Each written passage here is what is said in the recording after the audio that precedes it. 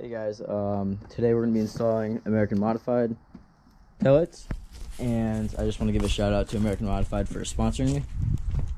Alright, so if you have a duck spoiler like this, you're obviously going to have to take it off to access these lights right here. And before you even begin, you want to remove the trunk liner, which is held by, uh, I think, nine clips, maybe eight clips. I'm not too sure about that, but it should just pop right off. They're pop clips. So let me, let me do that real quick. All right, so once I have taken off, or once you've taken off this, you should have nine clips. I used a pry tool. And I highly recommend getting extra clips because some of them will break.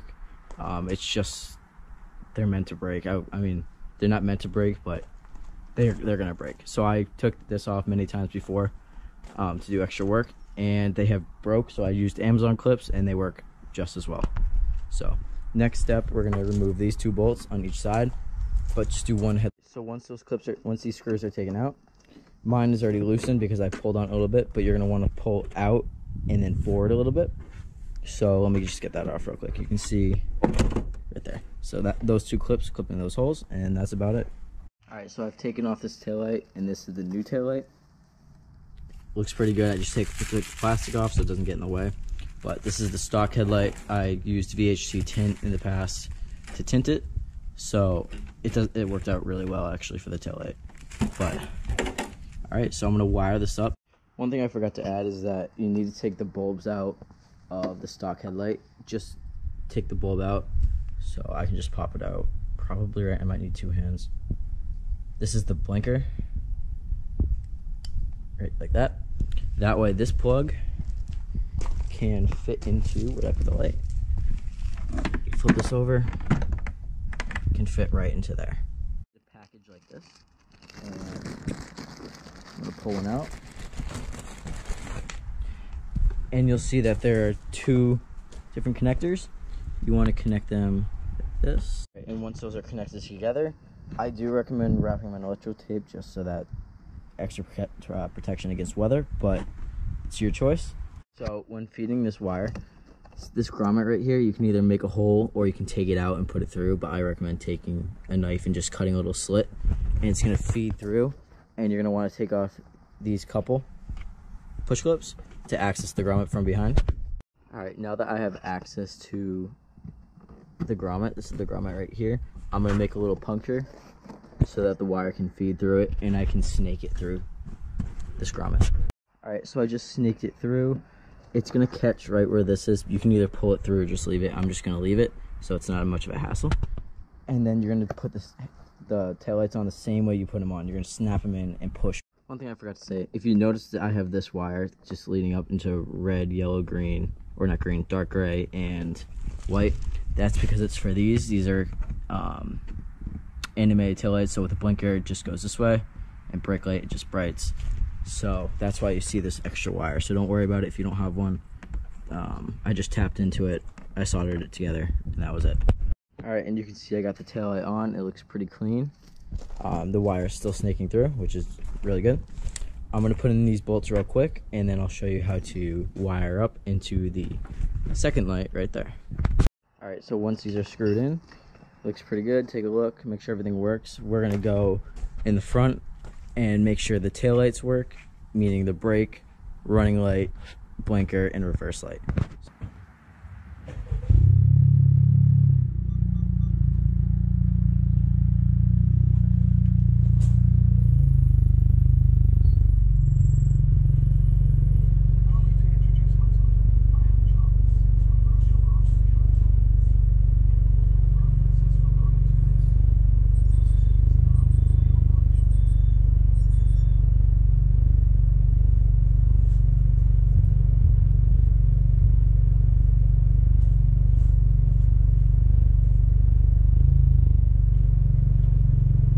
Just saw, these work great. Um, I cannot believe how much of a difference they are from stock. It's unbelievable. I love the animation in the beginning. I highly recommend these. All right, so now we're on the step two, which is this wire right here. Um, I haven't taken off the duckbill yet, and that's probably going to be an issue, but I'll take it off in a second and we'll go from there. But for this wire, we're gonna want to zip tie using zip tie. We can zip tie it with, I'm gonna use three zip ties just for extra security. And then we're gonna come over here and we're gonna remove this bolt right here. As you can see, I took I took it off. Obviously, it's gonna need some cleaning before I put it back on. Um, as well as this, you wanna remove all the tape. That's removed. You wanna take out that bolt I showed in the beginning. Let me just take this off, bugging me. Which is right here. And then it should just pull out. You might need a little bit of force. Uh, I've never taken this one out yet, so I'll let you know how this goes. All right, so what I actually did is I took this nut out using a 10 millimeter socket. I know it's hard to find. We always lose them, but it's, a 10 millimeter. So what I did, because this bolt is at an angle, and because it's facing outwards towards you, and you didn't want you don't want to drop it here because you'll never you'll never see it again. You'll never see it again. So I put the socket in it, and as it was about to fall out, I put my trunk down and I let it fall into the socket, so that that way I didn't lose it. But once that's off, we can remove this now. It should just pop out. I might be able to do it right now. Not too sure. Um, give me a second to figure it out, and then I'll get back to you guys. so I made a big mistake. You are supposed to take off these the screw right here, but there's two right here you're supposed to take off as well. I was fighting with it for about maybe 10 minutes, and I realized that these screws connected to the light. So once those are off, it should just pop off no problem. All right, so like I said, once these screws are out, there's one pop clip right there, and it should just pull right out. But now you got this wire, which let me find it real quick, which is right here. This wire right here. You want to undo this clip right here so that I don't know if I can do it on camera, but we'll see. Yeah, I don't think so. But once that clip is out, it's a little like the light connector and it should just pop right out. Just like that, this came out nice and simple. And the one, the clip is still right here. So I'll get back to you when I have the actual uh, end piece for one of these. All right, so here's the new one. Looks pretty good. Very clean. I love the smoked look. Like I said, it's it's amazing. But the same way is gonna happen. You're gonna want to snake these two wires through. I know the stock one had one, and I'll show you why in a second why this one has two. But you want to snake these wires in and then clip it in, and I'll get back to you in a second.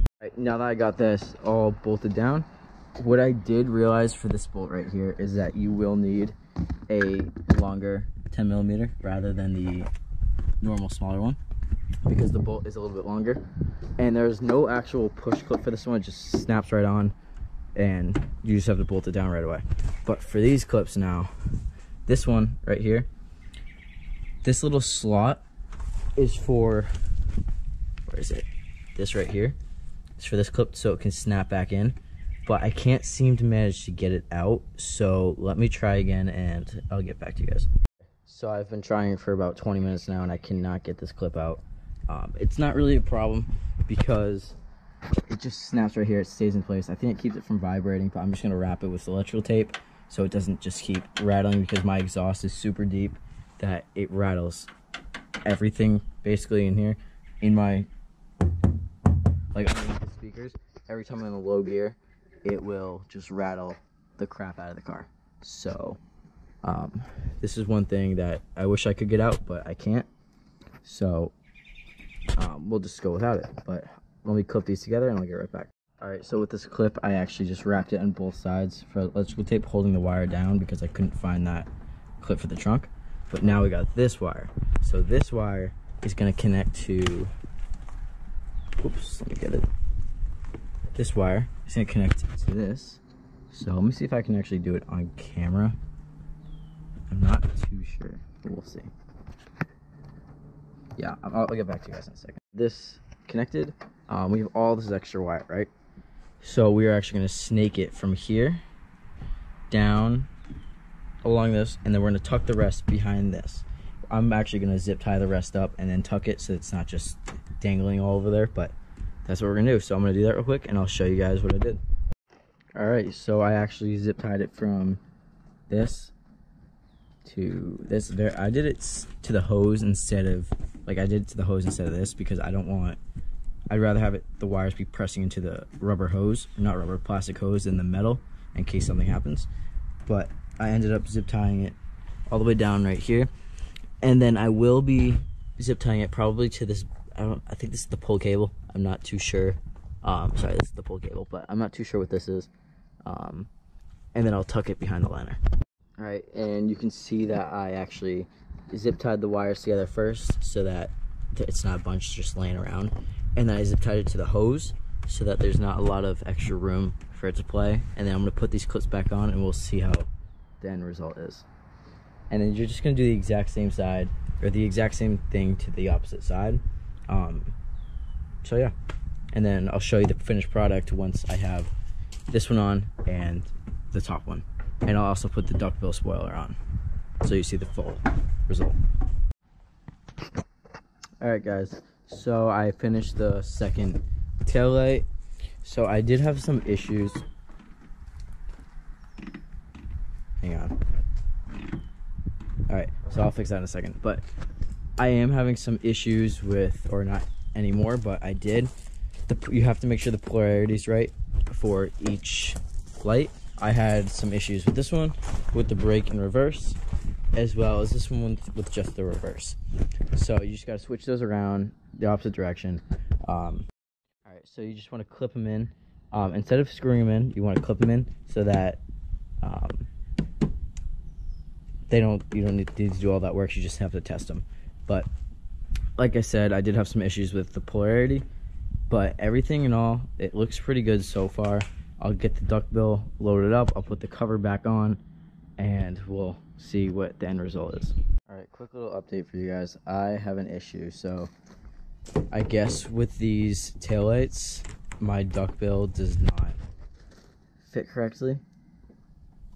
And I can't get it to actually stay down, and I can't get the screws in from underneath because it doesn't fit correctly. So if you're planning to run a duck, all right. So I guess I'll be reaching out to American Modified to see if they recommend a spoiler that will actually fit this. I might have to go with. They call it like the Type R wing, which I really don't want to do because I don't want. Hey guys, sorry about that. Um, my GoPro had some issues, but um, with the duck spoiler, yeah, it doesn't really fit, and that's because of the shape of the lights. Oh, I'll show you where. So the shape of the lights up here is kind of different. So until my new spoiler comes in, I actually blocked off these holes with like just Gorilla tape, double-sided tape, so that when it rains just like this, the rain, it won't mess it up. But overall, the lights, they look pretty good. Um, so I'll show you what they look like when I turn the car on. And it has a little short animation in the beginning and that really sticks out. So let me see if I can set up for you guys. All right, so what I'm gonna do is because it's not dark enough to, for the animation to actually go off right now, it goes. I'm not sure how it's supposed to go off or when. I don't know if it's supposed to be dark out or what, but it does it sometimes during the day. So I think I'm just messing with my settings a little bit. I turn these on and off all the time. So we're gonna start the car and just run outside and see it.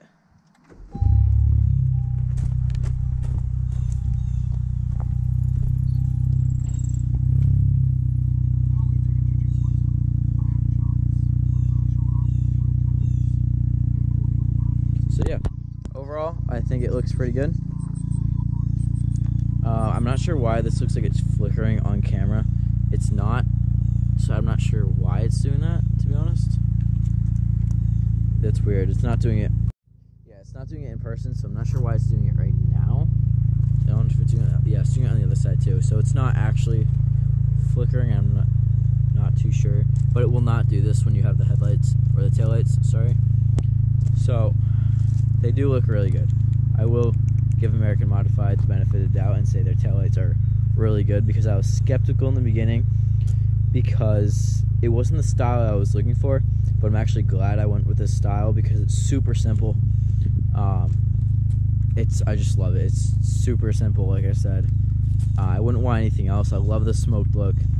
It the car already draws a lot of attention with the exhaust, with the wheels, with the wrap everything about this car draws attention, so I'm glad I had these taillights finally instead of the stock ones. So I just want to give a shout out to American Modified, and I'll do the other video about the, I forget what I said. I forget what I said earlier, but I'll do the other video in the upcoming videos with the install of the sub